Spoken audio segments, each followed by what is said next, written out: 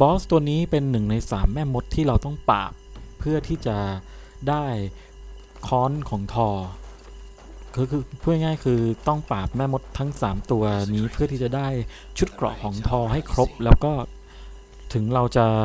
เข้าไปได้ขวานของทอมาที่นอร์เวย์บอสตัวนี้จะเป็นชื่อว่ากองริวก็คือเป็นหนึ่งในสามพี่น้องที่เราต้องปราบนะครับแล้วก็มันจะเป็น ตัวนี้บอสตัวนี้จะมีพลังเป็นควันพิษควันพิษนี่ไงมาแล้วข้างหลังก็จะ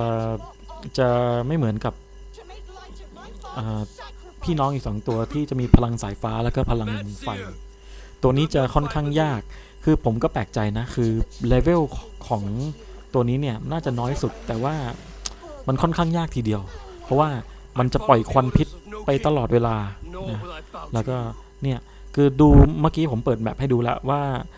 ค้อนของไอ้ไม่หมายถึงแม่มดตัวนี้เนี่ยคือเราจะเราจะไปเจอมันที่ไหน คือเราจะมา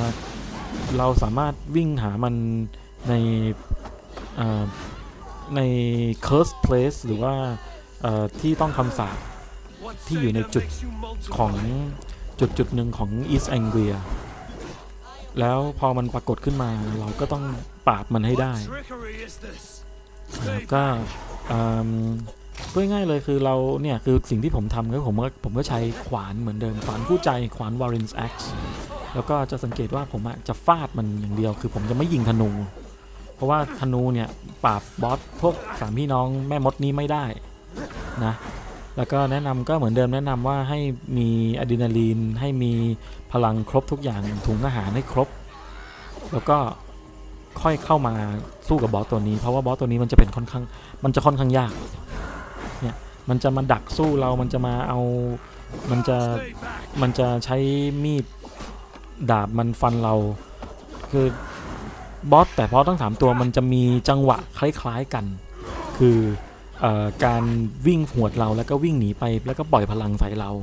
สิ่งที่เราต้องทำเนี่ยเราต้องหาจุดหนึ่งคือเราต้องหาว่าเราต้องขยันดูออร่าเหมือนเหมือนทุกตัวเหมือนบอสตัวเล็กทุกตัว พอขยันดูออร่าถ้าเกิดออร่าสีส้มปุ๊บเราก็หนีอ่าไม่ใช่โทษทีโอ้พูดอะไรวะคือถ้าเกิดเราเจอนี่อะมาแล้วนี่คือเฟสสองห้าสิบเปอร์เซ็นต์แล้วนะ พอมันเริ่มเฟสสองปุ๊บพลังมันก็จะเพิ่มขึ้นพลังมันก็จะเปลี่ยนไป วิธีการสู้รบมันก็จะเปลี่ยนไปนี่มันจะเร็วขึ้นมันจะหนีออกไปไกลๆแล้วก็มันก็จะปล่อยพลังนี่มันจะพลังตู้ออกมาเป็นพลังพิษ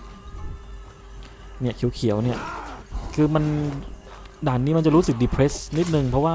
มันมืดๆแล้วก็มันมันไม่ค่อยแบบไม่ค่อยสดใสอะแต่ว่าเอาเหอะคือเพื่อจิงค้อนแล้วก็ชุดเกราะของทอนี่เราก็ต้องทำให้เต็มที่ นี่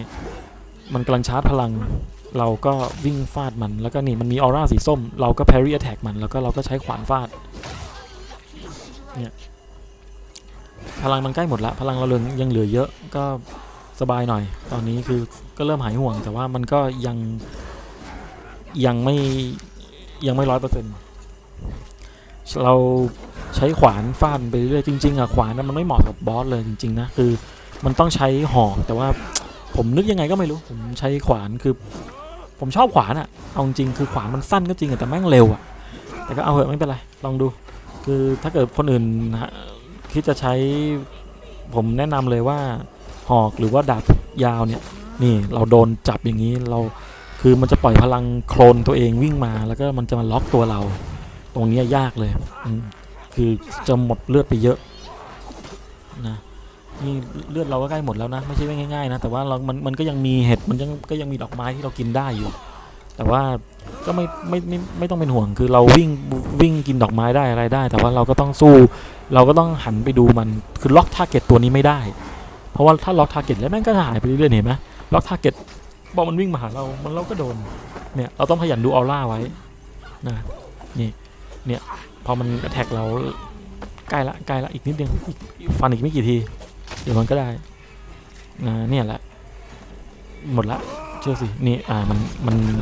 พอเราเพอรี่แท็กมันเนี่ย เราจะมีหน้าต่างสองสามวินาที เวลาที่มันมึนๆเนี่ยฟาดแม่งเลยนะครับ อืม เมื่อกี้ก็ขึ้นมาแล้วว่าเราได้รองเท้าของทอนะเนี่ยแหละ มันเลย ได้มาละ กองริลแต่ ยากไหมยาก แต่ว่าไม่มีอะไรยากเกิน ถ้าเรารู้จังหวะ เราต้องจับจังหวะ เล่นเกมอย่าใจร้อนใจเย็นๆมองซ้ายมองขวา ถ้าเราเล่นเกมออฟไลน์ เราเล่นมองซ้ายมองขวา ถ้าเราเล่นเกมออนไลน์ ควร ควรละห่ำเพราะว่าเราอ่านคนอื่นไม่ออก อันนี้อ่านคอมพิวเตอร์ครับ ได้อยู่ นี่ไง ได้ละ Tors trousers เนี่ยแหละ ได้แล้วรองเท้า เอ้ย Tors trouser หรือเปล่าเนี่ยทราว breeches อ๋อไม่ใช่ trouser breeches อันนี้เป็น breeches เออ โอเค เนี่ยแหละ ได้มาละ ชุดเกราะของทออีกหนึ่งชิ้น